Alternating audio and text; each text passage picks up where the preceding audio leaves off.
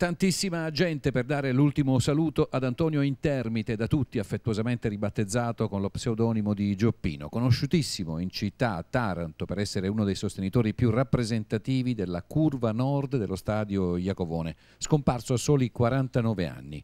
Gremito, il sagrato della chiesa Madonna del Rosario di Statte, c'erano centinaia di tifosi in rappresentanza di tutti i gruppi organizzati del tifo tarantino lo avevano definito il gigante buono per via della sua statura imponente che ben si associava alla proverbiale simpatia. Al termine della funzione religiosa c'è stato un lungo momento di commozione quando uno scrosciante applauso ha salutato l'uscita dalla chiesa del feretro avvolto da sciarpe e maglie rossoblù.